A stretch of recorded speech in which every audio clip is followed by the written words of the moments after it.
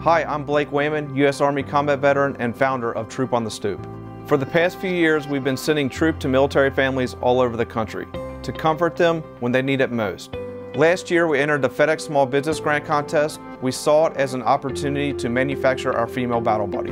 I'm proud to say our fan base helped us get into the top 100, but we did not earn any grant money, which meant the manufacturing of our female battle buddy would be delayed.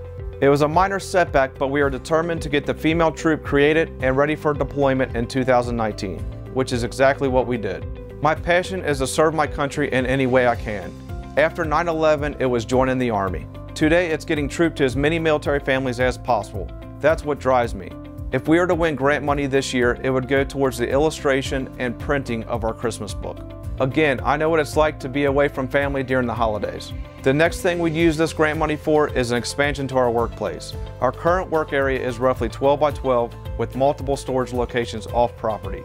This grant will help bring everything together, making our whole process more efficient.